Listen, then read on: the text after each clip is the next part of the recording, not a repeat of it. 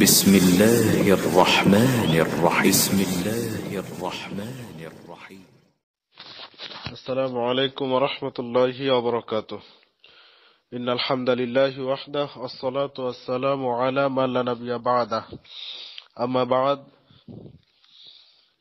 হজরত আলী দোহা ভাই কাতার থেকে প্রশ্ন করেছেন যে আহ, তিনারা যেখানে সলাৎ পড়েন এই সলাতের জায়গাতে এখানে একজন মিশরীয় ব্যক্তি থাকেন, তাদের সাথে সে ব্যক্তি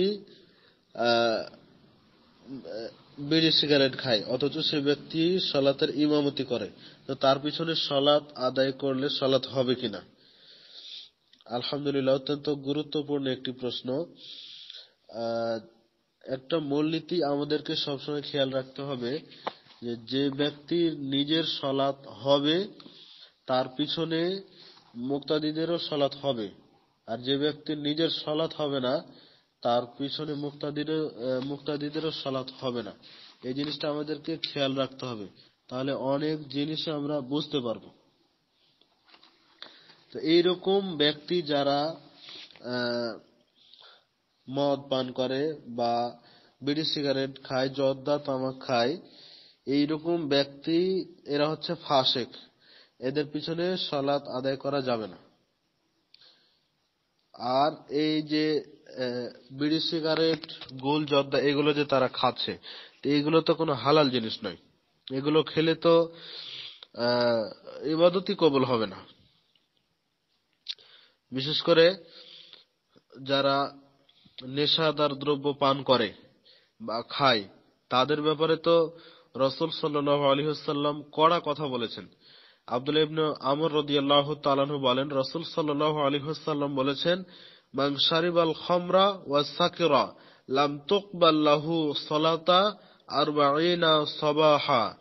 আল্লাহ রসুল বলছেন, যে ব্যক্তি নেশাদার দ্রব্য খায় বা পান করে, আল্লাহ তালা তার চল্লিশ দিনের কোন সলাৎ কবুল করবেন না। তো চল্লিশ দিনের সলাৎ কবুল হবে না।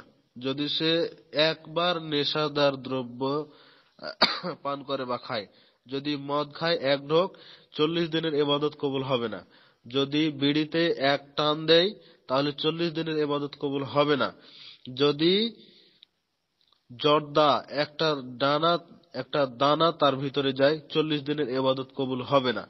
তাহলে তার নিজেরই যদি এবাদত কবুল না হয়, তাহলে সেক্ষেত্রে মুক্তাদি যারা তার পিছনে সলাত আদায় করবে, তার সলাত কেমন করে কবুল হয়, এটা বোঝার বিষয়। যদি যে হাদিসের মধ্যে বলা হয়েছে যে, যদি সে তওবা করে, তাহলে তাকে আল্লাহ তালা ক্ষমা করে দিবেন। কিন্তু সে কি তওবা করেছে? এটা আমাদেরকেও দেখতে হবে। সে তো তওবা করেনি, অথচ সে এগুলো দিন রাত খাচ্ছে আর সলাৎ পড়াচ্ছে। এইভাবে শরীয়ত চলে না। যে হাদিসটি আমরা বললাম, এটি রয়েছে ইবনে মাজার দুই নম্বর হাদিস। দ্বিতীয়ত, নেশাদার দ্রব্য যারা খায় বা পান করে, তাদের ব্যাপারে রসুল সাল্লাহ আলী সাল্লাম বলেছেন, লা লা তারা জান্নাতে প্রবেশ করতে পারবে না। লা ইয়াদখুলুল জান্নাতা জাসাদুন গদিয়া বিল হারাম হারাম দ্বারা গঠিত শরীর কখনো জান্নাতে প্রবেশ করতে পারবে না। এটা রসুল সাল্লাহ আলী সাল্লামের মুখের ভাষা। সুতরাং স্পষ্ট প্রমাণিত যে যদি কেউ নেশাদার দ্রব্য পান করে, তাহলে সে তার নিজের ইবাদত কবুল হবে না। সুতরাং মুক্তাদি যারা তার পিছনে থাকবে, তাদেরও সালাত কবুল হবে না। এটাই প্রমাণিত। এছাড়া যারা ঘুষ খায়, সুদ খায়, তাদের পিছনেও সলাৎ হবে না, যেহেতু তার নিজেরই সলাৎ হয় না। অথবা মিথ্যা কথা বলে বা ব্যভিচার করে, অথবা দাড়ি চাচে বা ছেটে ফেলে, অথবা মুশরিকদের জবেহকে মুশরিকদের জবেহকে তারা খায়। অথবা তাদের স্ত্রী কন্যা বেপর্দায় থাকে, তারা এটার ব্যাপারে কোনো দায়িত্ববোধ তাদের মধ্যে নাই। এসব ব্যক্তিদের পিছনে সলাৎ পড়া যাবে না। চেষ্টা করতে হবে এসব ব্যক্তিদেরকে যেন ইমামতি না দেওয়া হয়। এসব ব্যক্তিদেরকে যেন মসজিদের ইমাম বানানো না হয়।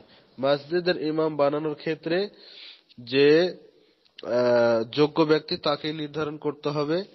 এসব যারা করে, যারা নেশার সাথে জড়িত, যারা হারামের সাথে জড়িত, তাদেরকে এগুলোতে নিযুক্ত করা যাবে না।